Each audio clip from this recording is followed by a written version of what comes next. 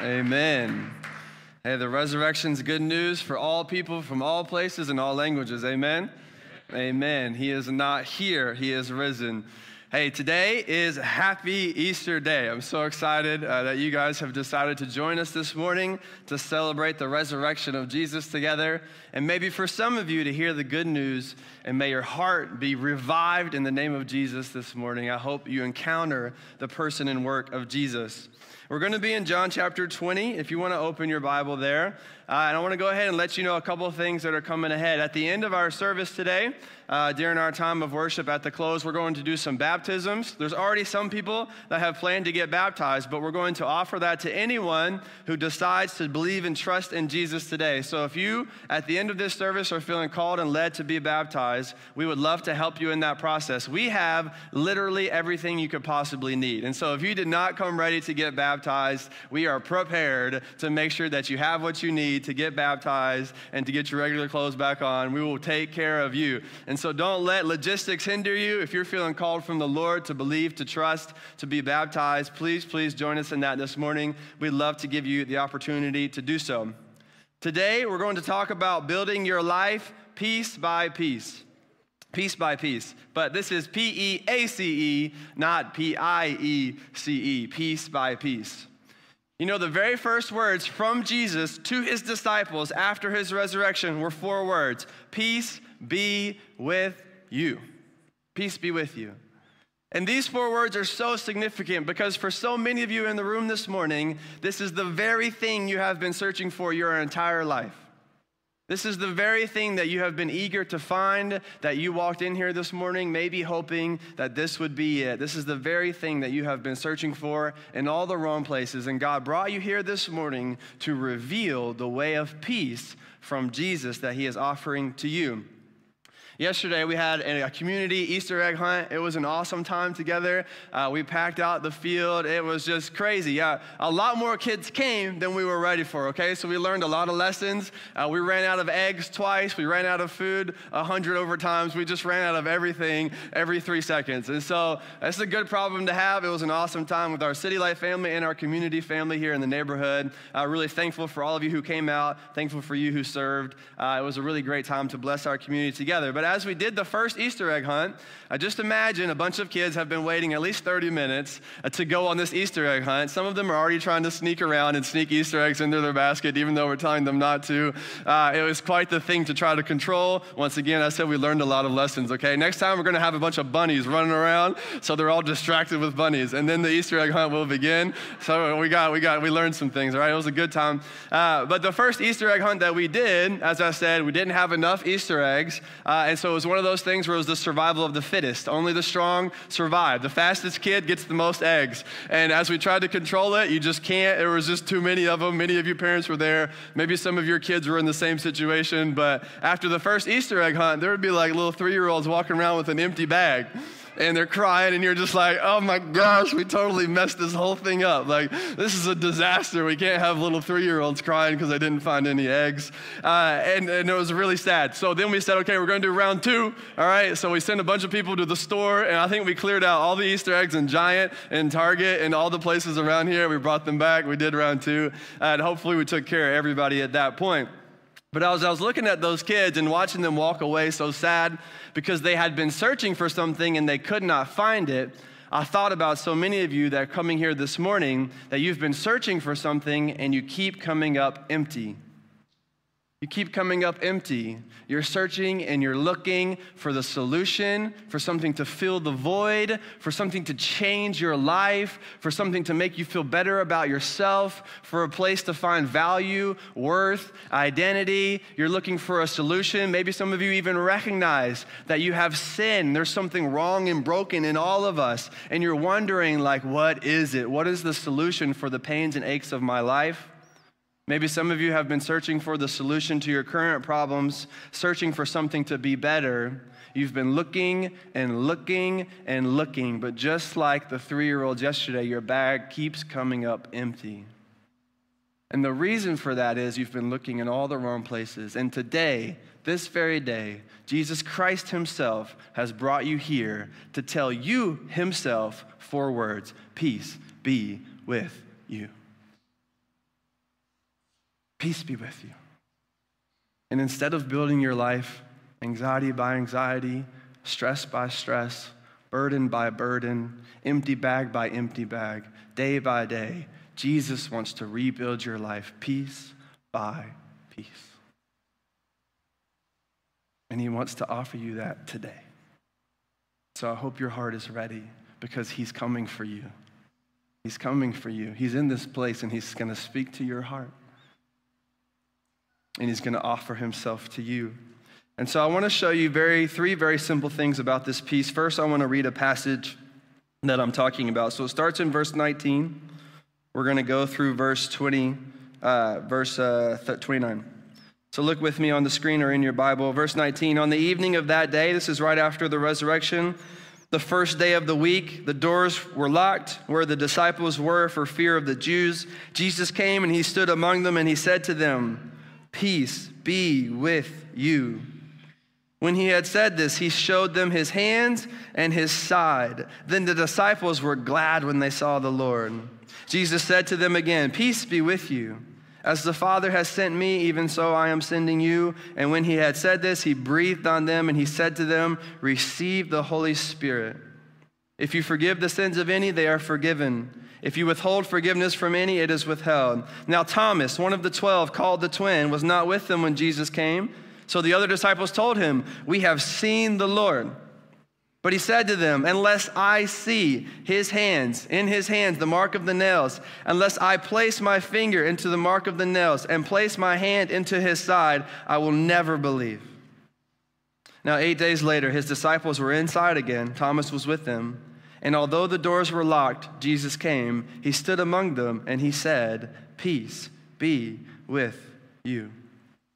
Then he said to Thomas, Put your finger here and see my hands, and put out your hand, place it in my side. Do not disbelieve, but believe. And Thomas answered him, My Lord and my God.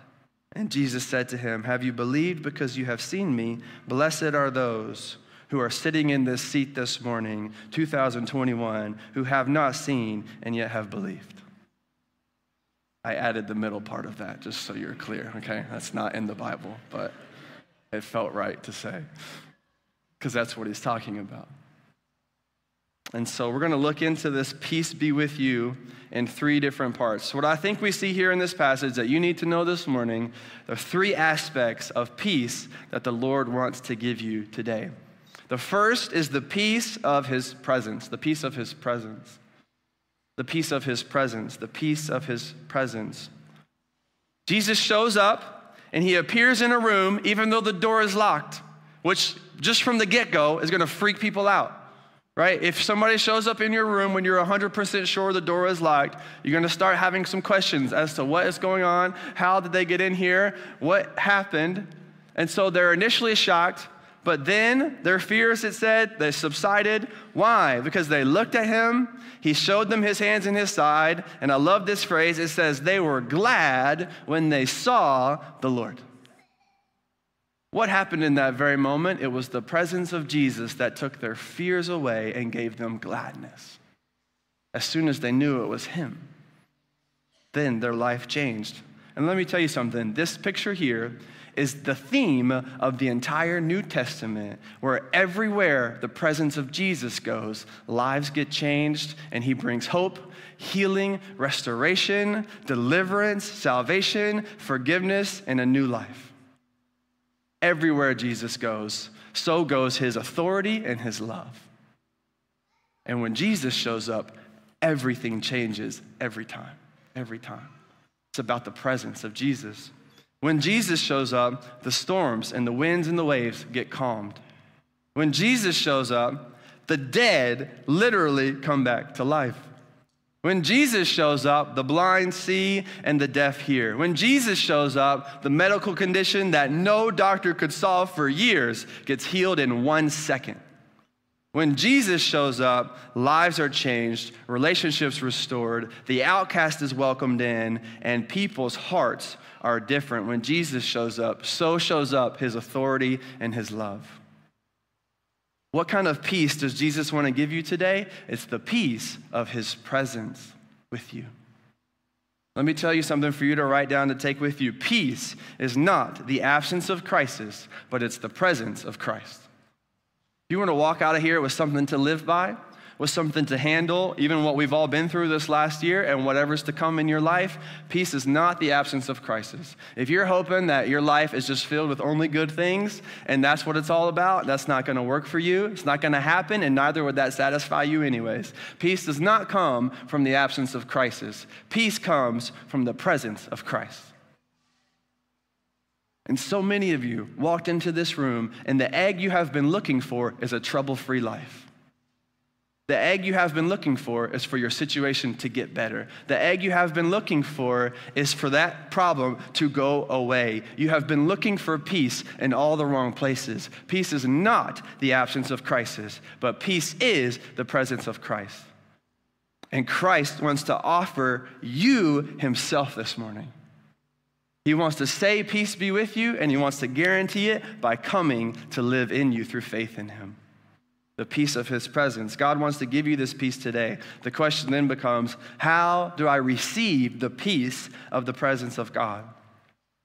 The Bible teaches us that because of our sin, our disobedience both to God and to man, because of our thoughts and our actions and our words that are unholy and ungodly. Because of these things, sin has separated us from God, that we do not have the relationship with our Creator that we were made for. You were made by God and for God. And unless you live with God, you will not be at peace. And your sin has created a separation, it has broken the relationship that you are supposed to have with God. And so the peace of his presence is not accessible to you except by one way. Jesus came. Jesus lived a perfect life. He died a death on the cross to pay for your sins, and he rose from the grave, which we celebrate today and really every day. And he offers you now the way to get right again with God. The Bible says that you can go from being God's enemy to being in his family through faith in Jesus Christ.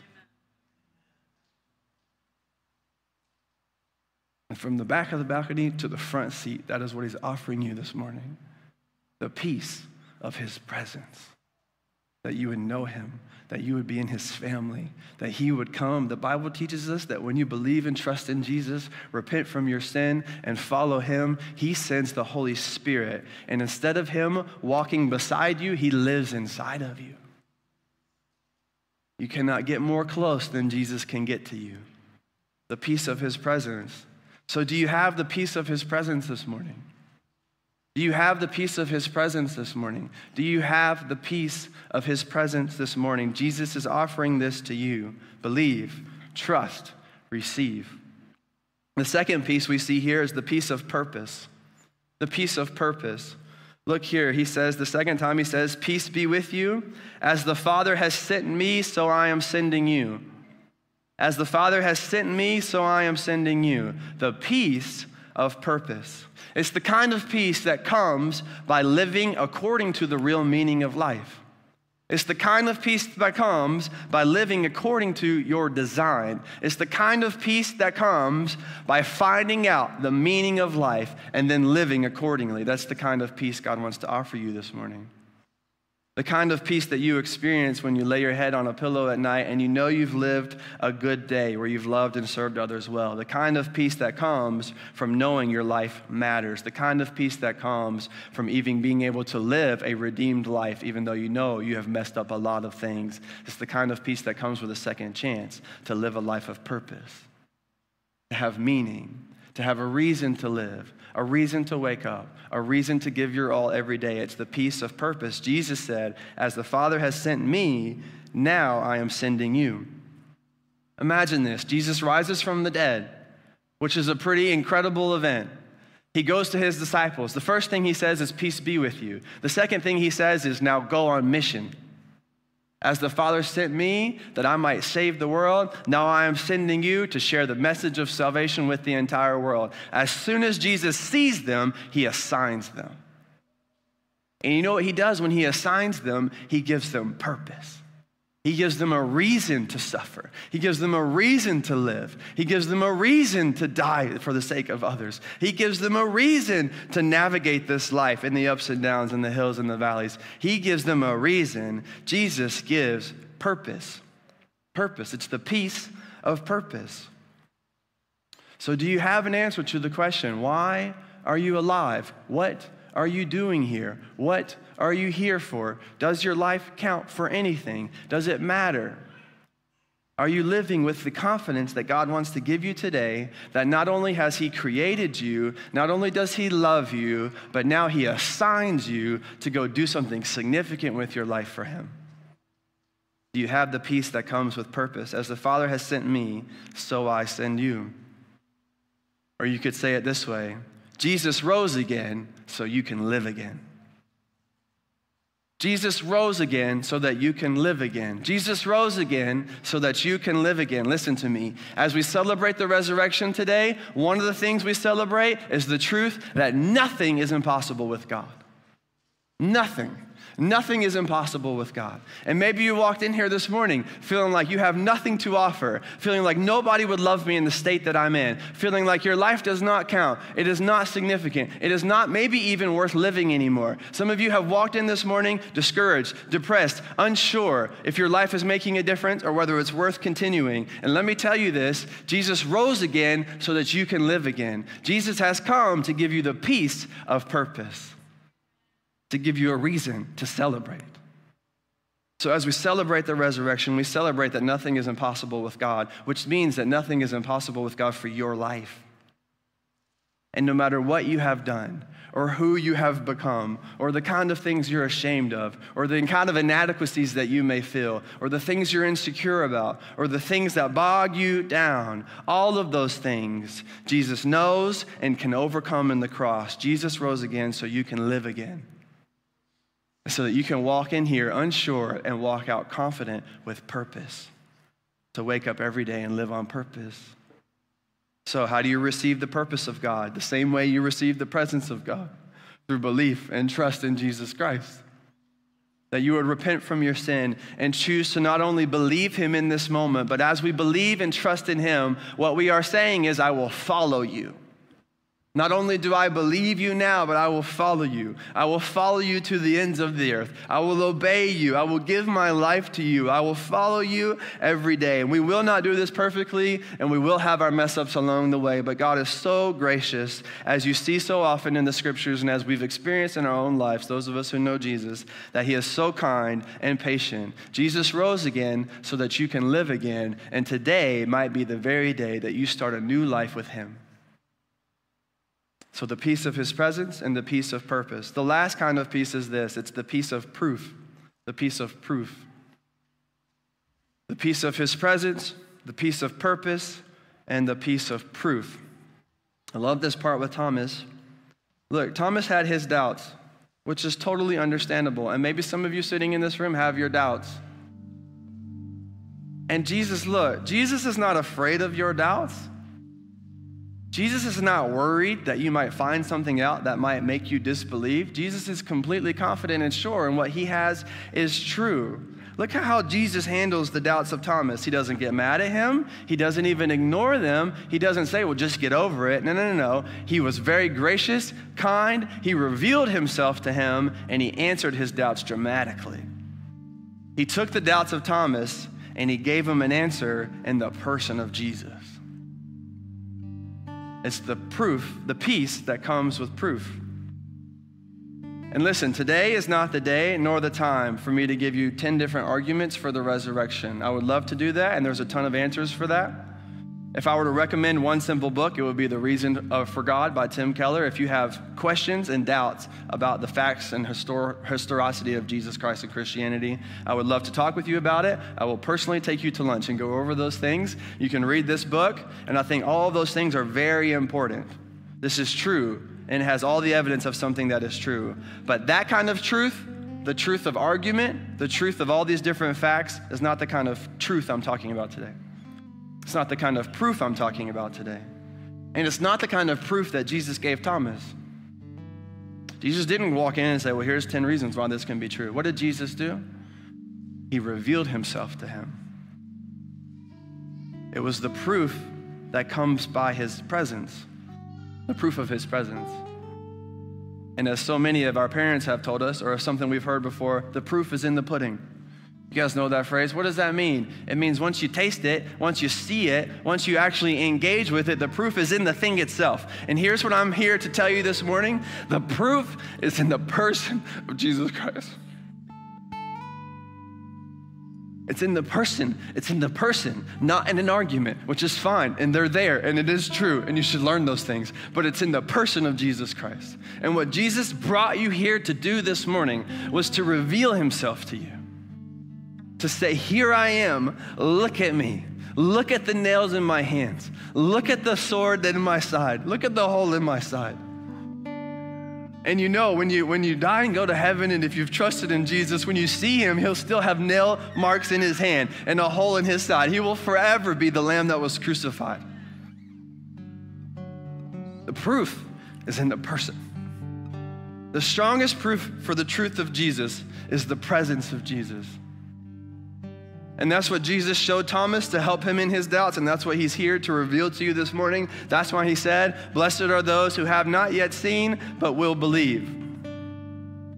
Because the Bible teaches us that when you see Jesus, you see him with the eyes of your heart, and that he begins to open himself to you. And even in this moment, maybe for those of you that are sitting in your seat, he is revealing himself to you that it is true. He is revealing himself to you that he is here. He is revealing himself to you that he wants to bring peace and a new relationship with God. He is revealing himself to you that he loves you. He is revealing himself to you that he wants to forgive you. He is revealing himself to you as the answer, as the solution, as the very thing which you have been looking for. The strongest proof for the truth of Jesus is the presence of Jesus, and he is revealing himself to you this morning. And the question is now, what will you do with what you have heard? What will you do with what you have heard? God is revealing himself as the very thing you have been looking for.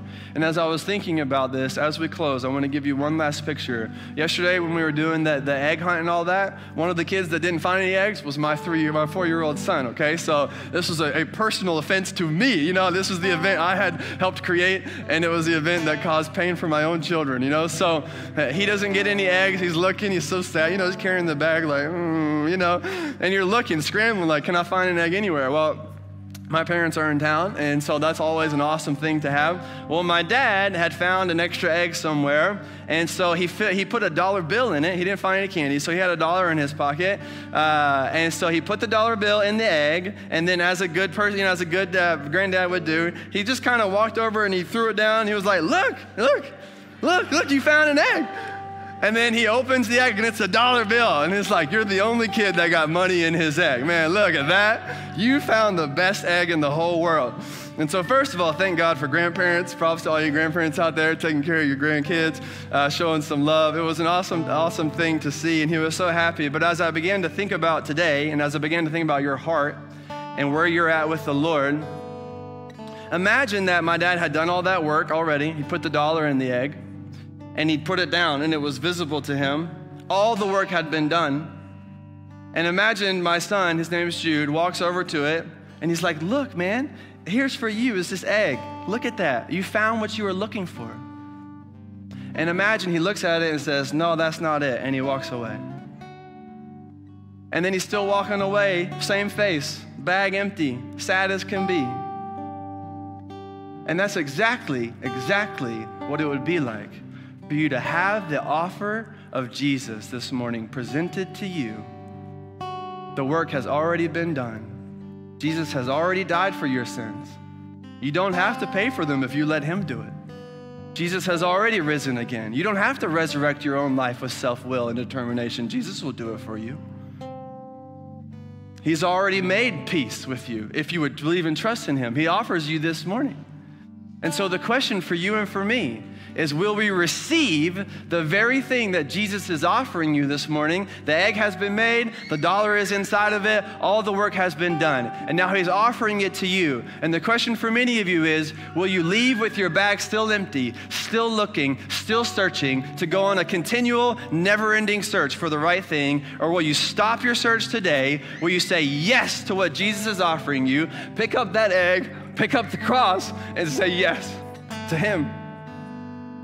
Don't leave this place with your bag empty. Don't leave this place with your bag empty. Do not leave this place with your bag empty.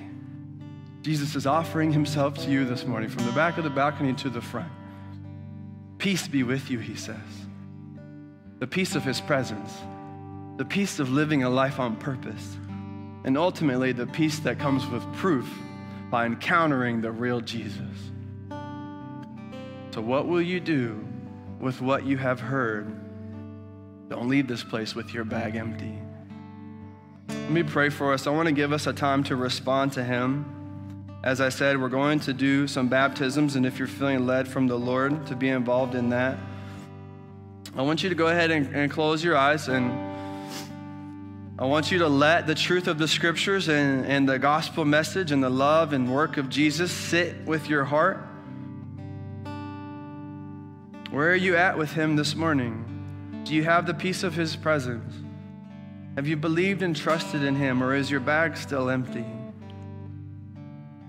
And I want to give you a chance in this very moment to believe and to trust and to receive the free gift that Jesus is offering you now of salvation in His name.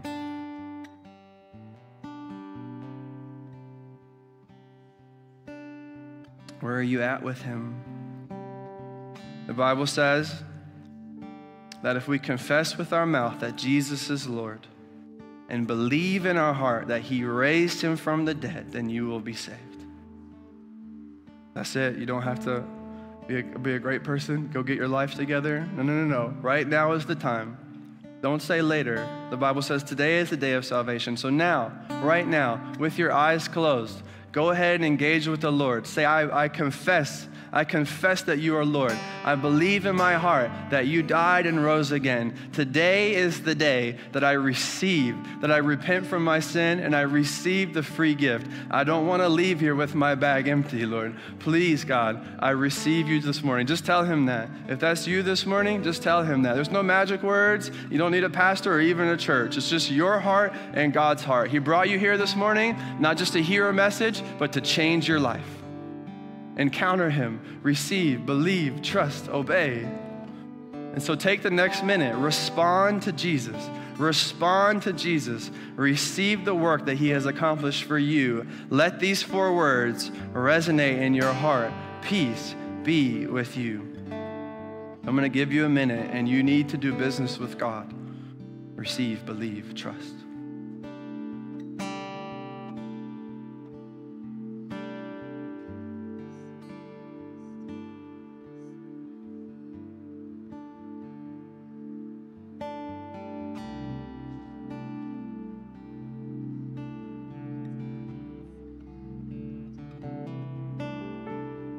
Here today and that's a decision that you have made, every eye closed, heads bowed, if you're here and that's a decision that you have made or a decision that you would like to make and you'd like to talk to someone, would you please raise your hand just so that we can know, so I can pray for you, and so that we can help follow up in this process with you? If that's a decision that you would like to make this morning, a decision that you have made, a decision that you would like to talk to us more about, please go ahead and raise your hand, and then we're going to give you a chance to respond. Thank you very much. So let me pray for us. And after I pray, we're going to stand and we're going to sing and we're going to respond to Jesus. And as we sing, we're going to have people down front over here. If you would like to get baptized or if you would like to talk more about your relationship with God, you can go ahead and walk to them as we're singing, and we'd love to talk to you more about that. And so let me pray, and then we'll all respond. Heavenly Father, we love you.